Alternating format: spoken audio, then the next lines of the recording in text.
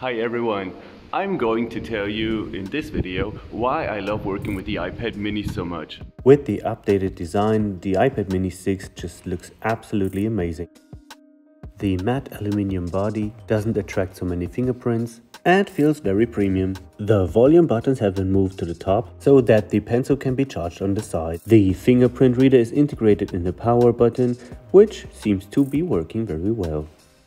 The stereo speakers are surprisingly loud and great for video calls and media consumption.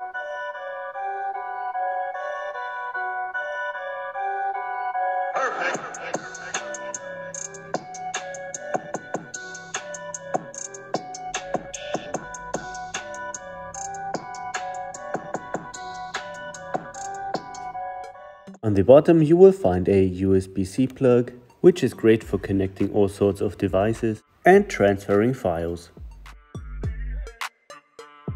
Thanks to its compact size, it fits easily in most of my pockets, so I can easily reach for it wherever I go. Paired with the Logitech Keys to Go and the Logitech Crayon, you can set up your desk almost anywhere you like. The keys to go are very thin and they still work after you accidentally spilled a glass of water on them. My iPad mini is protected by a slim folio which snaps on and shuts magnetically and makes for a great RAM for my RCs. It is not magic though. So if you are clumsy or have clumsy friends, colleagues or children, then you should maybe consider getting a bumper case like this.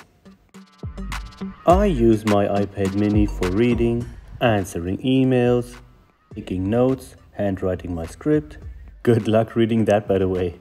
Then I shoot some footage.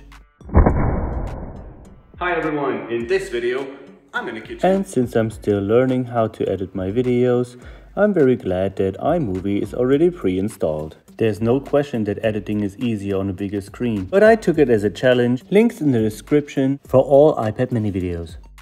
When we're traveling, my son uses the iPad mini as an entertainment device. Playing games with it is great fun, since it fits perfectly in my hand and the screen is not too small. The size of the screen and its resolution are great for watching videos everywhere.